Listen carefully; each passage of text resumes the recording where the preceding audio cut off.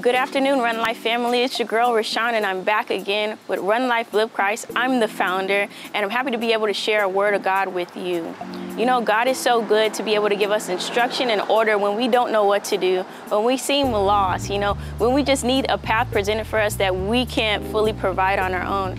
I want to share a little bit of scripture with you. We're coming from 2 Timothy chapter 3, verse 16.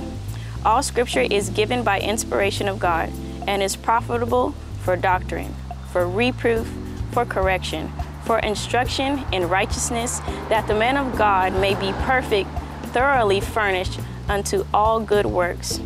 Isn't God good to give us instruction? Isn't God good to give us example through His Word?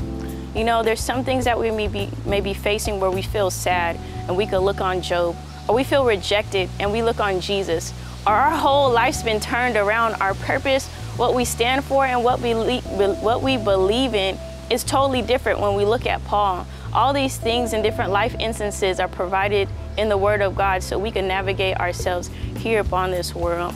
So I, will, I just want to thank God for what He's done, thanking Him again for presenting us with the Word, and thanking Him for His continuous love and joy we have access to to pull on Him. You guys have a great day.